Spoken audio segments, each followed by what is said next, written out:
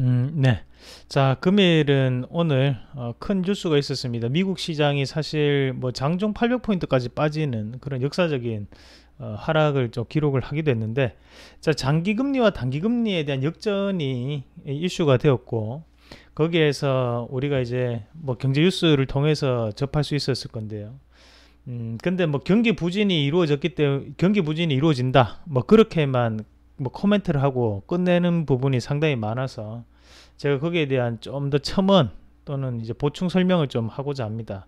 어, 사실 우리가 이게 암기식 공부의 폐인데 장기 금리와 단기 금리에 대해서 금리가 역전됐는데 그게 경기 부진이라 왜? 왜라는 물음을 항상 던져야 되거든요. 근데 이거를 대부분이 장기 금리와 단기 금리가 역전됐으니까 경기가 부진하다 이렇게 외워버립니다. 외워버리면 이해를 못하기 때문에 결국에는 어, 그, 거기에 따른 솔루션 자체를 우리가 알 수가 없다는 거예요. 그래서 그런 부분 자체를 우리가 조금 더 판단을 해야 돼요. 그러면 일단은 기본적인 원리를 제가 조금 설명을 해드리면 어, 일단은 어, 위험도가 높아질수록 위험도가 높아질수록 금리는 높아집니다. 먼저 그걸 생각을 하셔야 돼요. 자, 그리고 기간이 길어질수록 금리는 높아집니다. 이거는 기본 틀이라 합니다. 기본 틀을 먼저 아셔야 돼. 그럼 위험도가 높아질수록 금리는 높아지고 어, 그리고 기간이 길어질수록 금리는 높아진다. 자, 예를 들어 1년짜리 예금이 있어요. 예금. 그리고 10년짜리 예금이 있습니다. 뭐가 이자가 더 높나요? 10년짜리가 훨씬 더 높죠. 네? 단순한 거예요. 이렇게 단순한 겁니다. 그런데 1년짜리 예금이 더 높아요, 지금. 어, 왜 그럴까? 그러면 1년에 대한 위험도가 높다는 거잖아요. 그러면 위험도가 높다는 것은 상환을 받을 확률이 더욱더 떨어진다는 거거든요. 이자가 높다는 것은 상환을 받을 확률이 낮기 때문에 이자가 높은 거예요. 위험도가 높기 때문에. 그러면 1년의 예금이 더 높은 경우는 왜 더 높을까? 그게 바로 경기가 나쁘기 때문에 내 돈을 1년 만에 돌려받을 수 있는 확률이 떨어진다는 얘기입니다. 그렇기 때문에 경기가 부진하면 장기금리와 단기금리가 역전되는 어, 행위가 발생할 수 있다. 이렇게 해석을 하는 게 맞습니다. 자, 그러면 지금 당장에 일단 미국 증시에 대해서 단기금리와 장기금리 정확하게는 오늘 2년물과 5년물이 역전이 됐는데 자, 2년물과 5년물이 잠깐만 한번 같이 보시면 보겠습니다. 자, 5년물 같은 게 2.79%고 그리고 어, 2년물 같은 게 2.8%입니다. 자, 그만큼 역전이 됐는 게 바로 2년물과 5년물이거든요. 2년물 같은 경우에 우리가 단기금리라고 하고 5년물은 중장기금리라고 표현을 합니다. 자, 그러면 여기에 대해서 왜 이런 현상이 발생했을까? 일단은 미국이 지금 현재 점진적인 금리 인상을 하고 있거든요. 그러면 또 12월 달에 또 금리 인상이라는 것이 기정사실화 되어 있단 말입니다. 자 그렇다 보니까 어떤 부분이 발생하느냐 하면 이 기울기를 잘 보세요 지금 이게 2년물입니다 자 그리고 1년물입니다 자, 1년물 자체도 보시면 상당히 기울기가 가파른 게 보이실 겁니다. 자, 그러면 6개월짜리도 한번 같이 볼게요. 6개월 스프레드도 기울기가 상당히 가파르게 지금 올라왔죠, 지금. 그리고 지금 뭐 3개월분 같은 경우에도 기울기가 상당히 가파르거든요. 하지만 지금 뭐 5년, 10년물부터 그렇게 가파르지 않았다. 뒤에 이제 쫓아가는 부분이라는 거죠. 이게 무슨 말이냐면 연준의 정책적인 실책이라는 걸 우리도 또 인식을 할 필요가 있습니다. 점진적인 금리 인상이라고 했지만 1년에 4번, 1년에 3번 정도의 금리 인상을 하기에는 경기가 그만큼 안 떨어졌다는 얘기거든요. 경기가 그만큼 뒷받침되지 못했는 상황에서 무작정 점진적인 금리 인상을 외쳤다라는 얘기죠. 말 그대로 미국 증시는 좋았을지 모르고 미국 경제는 좋았을지 모르겠지만 이 금리 인상 자체를 다른 여타의 이머징 마켓에서는 따라가 주지 못했다는 뜻이에요. 사실 지금 미국을 뿐만이 아니라 전 세계적으로 지금 경제가 공유되는 공유 경제의 형태거든요. 그렇다는 얘기는 미국이 지금은 점진적인 금리 인상을 할 게 아니고 약간은 주위 나라들의 상황을 봐가면서 금리에 대해서 좀 더 순차적인 상승을 해줬어야 되는데 1년에 3번이면 3번, 1년 4번, 4번 이런 식으로 금리를 계속적으로 올리다 보니까 다른 여타에 대한 국가들이 못 따라줬기 때문에 미국이 그만큼의 수출 지표라든지 경기가 어, 예상만큼은 올라오지 않았다. 그렇게 보는 게 맞는 부분입니다. 그래서 지금 실질적으로 미국 경기가 나쁘다라고 표현하기 힘듭니다. 다만 미국 경기는 좋을지 모를지언정 대신에 이머징 마켓의 경기가 안 좋기 때문에 미국도 그만큼은 타격을 받을 수밖에 없다. 그렇게 해석을 하는 게 가장 올바른 판단입니다. 자, 그러면 이어서 계속 보시면 단기 금리의 높은 금리 이것은 바로 경기가 부진하기 때문에 이런 현상이 나타나는 부분이고 결국에는 이렇게 된다는 것은 상환율이 낮기 때문이거든요. 그러면 장기 금리에 대해서 높은 금리는 대체적인 경기에 대한 상황 자체를 뜻하는 부분입니다.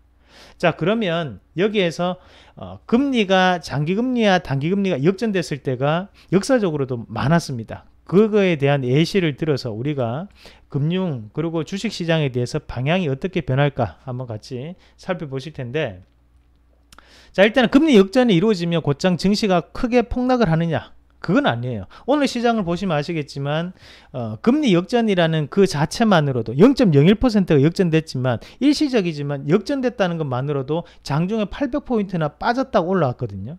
그것은 그만큼 금리라는 부분 자체, 이자라는 부분이 지금 현재 시장에서 상당히 중요한 포인트라는 것을 어, 의미를 하고 이것은 오늘뿐만이 아니라 역사적인 부분에서도 이런 금리에 대한 부분 자체는 상당 부분 중요합니다. 외국인들이 매수와 매도를 할 때 가장 중요하게 여기는 것이 세 가지가 있다고 했죠. 첫 번째는 금리, 두 번째는 환율, 그 세 번째는 유가입니다. 이세 가지가 정말 중요하거든요. 이세 가지를 꼭 기억을 하셔야 되고 지금은 결국에 금리를 바꾸고 있는 상황이기 때문에 어, 환율 자체도 유동적으로 바뀌고 있는 상황이라는 거예요. 자, 2006년도에도 금리가 역전됐거든요. 장기 금리와 단기 금리가 역전이 됐었는데 이후로 시장 자체는 어 계속적으로 그냥 평이한 모습들을 흘러갑니다. 횡보성 장세 연출하다가 2008년도 바로 2년이 지나고 난 다음에 금융 위기가 찾아오고 크게 시장은 급락을 해버렸습니다. 자, 그것이 뭘 뜻하냐면 결국에는 금리 역전이 됐다는 것은 시장에 대한 이상 징후를 내포하고 있다는 거예요. 그냥 지금 시장 자체가 예전처럼 그냥 내가 보유만 하고 있으면 종목군들이 올라가겠지. 오랫동안 들고 있으면 올라가겠지. 장기 투자하면 올라가겠지. 그런 마인드 자체는 버려야 된다는 거죠. 지금 시장의 분위기는 바뀌었다는 걸 인지를 해야 됩니다. 자, 불안 요소, 요소들 자체가 2006년도부터 등장을 했거든요. 2006년도부터 뭐가 안 좋다, 뭐가 안 좋다, 이게 안 좋고 경기 불확실하다, 이런 얘기를 계속적으로 해왔단 말이에요. 근데 그 상황에서 터지진 않는다는 거죠. 폭탄은 2년, 2년 후에 1년 6개월 2년 뒤에 점점점 한 번만에 떨어지는 겁니다. 증시가. 그 부분 자체를 여러분들이 미리 인지를 하고 있어야 돼요.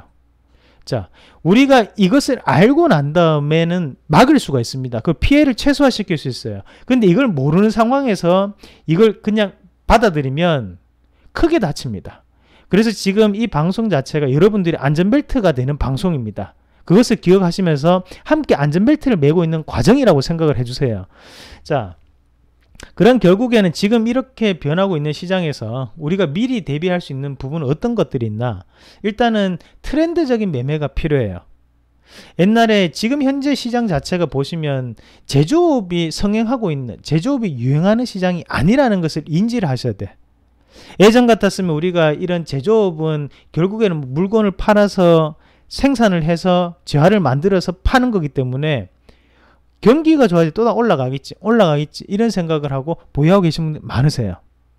하지만 그런 시장 자체가 아니라는 것을 인지를 해야 됩니다. 지금은 탈제조업 시대거든요. 그게 우리나라뿐만이 아니라 전 세계적으로 탈제조업 시장이에요. 부가치가 높은 산업에 대해서 상당 부분 투자가 들어오고 있는 거지 실질적으로 예전처럼 제조업에 대해서 상당 부분 매수세가 들어오는 건 아니라는 것을 인지를 하고 계셔야 됩니다. 또 한 가지는 업종에 대한 인식을 변화시킬 필요가 있다는 거예요. 예전처럼 눈에 보이지 않는 것은 안 돼. 어? 예를 들면 뭐 엔터주 아, 그 인기 안돼 안돼 걔네들 어떻게 믿어 그런 인식을 바꿀 필요가 있습니다 바이오 아, 안돼 그거 어떻게 믿냐? 이렇게 되면 안 된다. 인식을 조금씩 바꿔 나가야 돼. 지금은. 시장이 바뀌고 있다는 그 흐름 자체를 우리가 인지할 필요가 있어요. 아니면 주식시장을 떠나야 된다는 거죠. 아니면 주식시장을 욕하면서까지 남아있을 필요는 없다는 거예요. 지금은 그 정도로 우리가 인식 자체를 바꿔야지만 지금 이 시장에서 살아남을 수가 있어요. 최근의 시장이 어때요? 상당히 다이나믹하거든요. 변동성이 상당히 큰 시장이란 얘기예요. 그리고 그 시장 자체가 항상 보면 빠르게 움직이고 급변하고 있다는 것을 우리가 체감을 할 수 있는 시장입니다. 그 정도로 예전처럼 에헴 양반으로 딱 내가 앉아가지고 어? 팔짱 딱 끼고 아, 뭐 이런 식으로 볼 수 있는 그런 시장 아니라는 거예요. 시장이 상당히 빠르게 바뀌고 있다는 것을 우리 스스로 인지를 해야 되고 지금은 계속적으로 꾸준히 내가 공부를 하고 배워야지만 따라갈 수 있는 따라갈 수 있는 시장입니다. 그것을 꼭 기억을 하셔야 돼요. 지금은 제가 정말 부탁드릴게요. 지금은 그 정도로 시장 자체가 상당히 빠르게 변하고 있다는 것을 아셔야 됩니다. 자, 그리고 또 한 가지는 자, 이것도 조금 중요한데 이제 기간 내에 보면 상환을 해야 되는 돈들이 여러분들이 있을 거예요. 그러면 뭐 우리가 최근에 뭐 제 고객들 중에서 이런 분들 계세요. 뭐 지금 1억 5천짜리 어 집이 지금 어 전세금을 받았는 게 있는데 요거가 이제 6월 달에 만기라 가지고 6월 달에 나가기 전까지는 돈 여윳돈이 조금 더 있다. 요런 분들 많으십니다. 그럼 제가 제 고객이지만 우리 제 가족분들한테 얘기를 하는 것이 아, 어머니 그렇게 하지 말고 차라리 은행 가서 대출을 받으십시오. 어? 예, 이거는 6, 이런 기간 자체를 정해버리면 종목권도 그렇고 다 틀어집니다. 이렇게 얘기를 합니다. 어? 왜냐하면 그만큼 지금은 기간이라는 것을 설정을 하고 들어가기에는 조금 힘든 시장이라는 것을 인지를 해야 돼. 어? 그게 한 번이라고 생각을 하고 이거를 그냥 무작정 한 달 만에 수익 볼 수 있겠지 이런 식으로 접근하는 것은 곤란하다. 그것은 어, 전문가와 함께 하지 않으면 그건 상당히 힘든 거고 종목별로 구분이 상당히 지금 많은 시장이고 개별주 시장이기 때문에 우리 개인 투자자들이 혼자서 그걸 하기에는 조금 역부족이라는 것을 현실을 인지를 해야 됩니다. 예전처럼 무작정 내 종목도 올라가겠지 많이 빠졌으니까 가겠지 그런 시장은 아니라는 거예요. 그것을 꼭 인지를 하셔야 되고 이럴 때에 뭐 신용이라든지 만약에 미수, 미수는 쓰지 마시고요. 만약에 신용을 쓰게 되더라도 신용 같은 경우에는 꼭 상담을 한번 받아보시고 신용을 쓰십시오. 그런 상담은 제가 무료로 해드릴 수 있어요. 네? 아니면 적어도 내한테는 한번 물어보세요. 딴 사람한테 부담되면. 그만큼 지금 시장 자체가 조금은 어, 우리가 체감적으로 아직 확 와닿지는 않아요. 사실. 하지만 조심하셔야 되는 시장은 맞아요. 이런 분위기 자체가 1, 2년 정도 이어지고 난 다음에 그때 갑작스럽게 장이 빠질 때가 있거든요. 어, 하지만 그것을 우리가 지금 미리 2년 전에 미리 지금 공부를 하고 있다고 생각을 하세요. 알고 있으면 안 당합니다. 위험은 모르고 있을 때 위험하게 되는 거예요. 아시겠죠? 이 부분을 꼭 기억을 하시면서 앞으로의 시장 방향 자체는 긍정적이진 않다. 그리고 거기에 대한 트렌드 매매는 당연히 필요하고 그리고 지금은 상환을 해야 되는 돈들 이런 돈들로는 주식은 가급적 피하자 아, 그렇게 정리를 하도록 하겠습니다. 제가 오늘 방송을 보다가 그냥 무작정 장기금리와 단기금리 역전돼서 경기가 부진하다. 이거는 누구나 하는 얘기야. 그렇게 하면 안 되지. 왜 그런지가 우리는 궁금하잖아요.